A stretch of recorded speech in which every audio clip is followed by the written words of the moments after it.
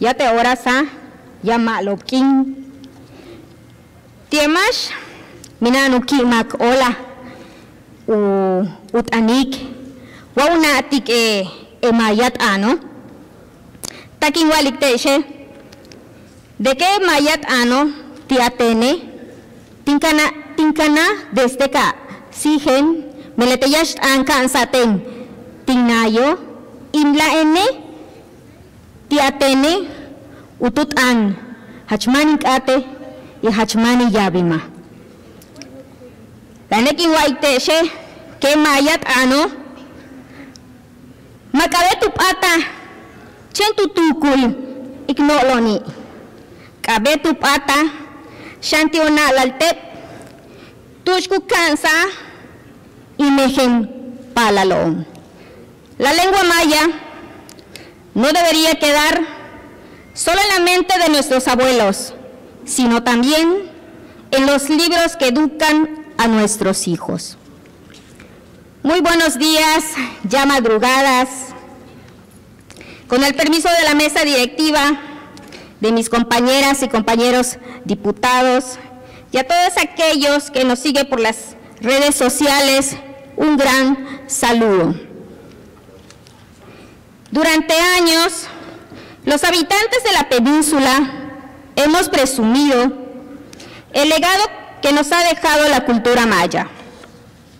En todos los niveles de gobierno se ha procurado la conservación del patrimonio físico, se han restaurado edificios, se han hecho reglamentos para el cuidado de zonas arqueológicas y se ha promovido la historia mítica de nuestra civilización especialmente en nuestro estado, Quintana Roo. Los elementos de nuestro pasado ahora forman parte de los atractivos turísticos. Sin embargo, en esta cultura de preservación se nos ha olvidado el legado más vivo que tenemos, la lengua maya. Se nos ha olvidado entre la sociedad, pues de acuerdo al INEGI, en los últimos 10 años, la comunidad maya hablante se ha reducido casi en un 10% a pesar del crecimiento poblacional en el Estado.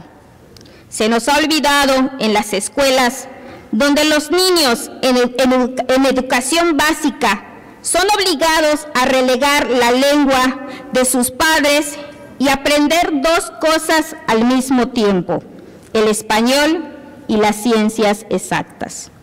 Y lo más grave, se nos ha olvidado, hasta en las leyes, nuestro marco jurídico estatal carece de disposiciones que promuevan una educación intercultural bilingüe, que nos permita preservar y desarrollar nuestra cultura y, nuestra lengua como parte del pueblo indígena maya.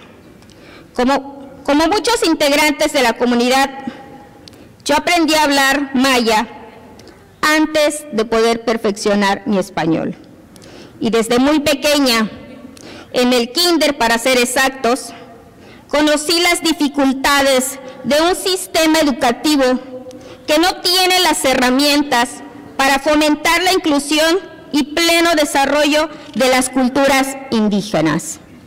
De ahí la importancia de capacitar a la sociedad a través de la comunidad estudiantil para que sea capaz de sumergirse en la historia, cultura e identidad del Estado, mediante el aprendizaje de la lengua maya como la lengua prehispánica dominante en Quintana Roo.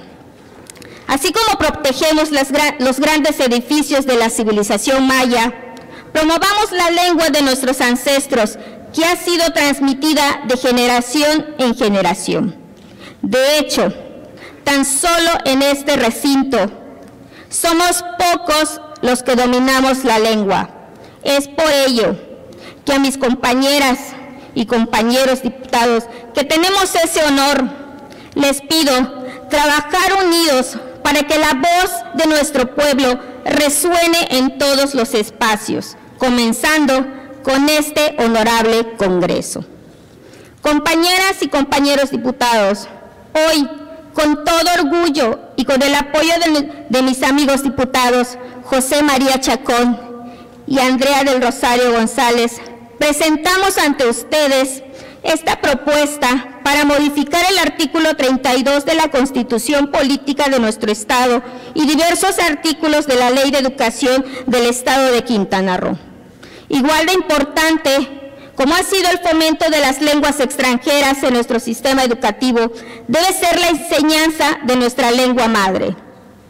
Como descendiente de los mayas, pido su apoyo y respaldo para sentar las bases de una educación estatal más incluyente, promotora de su historia e identidad. Como madre, anhelo que mis hijos, los hijos de la población maya, puedan sentirse orgullosos de sus raíces y que no tengan que cambiar nada de eso para poder ser parte del desarrollo de este mundo. Como presidenta de la Comisión de Desarrollo Indígena, me comprometo a tocar puertas y dar continuidad para concretar este proyecto en las aulas de nuestro Estado. Sabemos que será un proceso paulatino, pero será una prioridad por nuestra comunidad maya, por nuestra historia, nuestra cultura y nuestra lengua, hagamos esta propuesta una realidad. Es por ello que les puedo decir.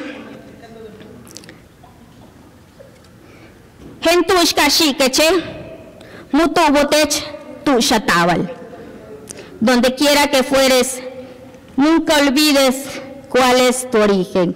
Muchas gracias.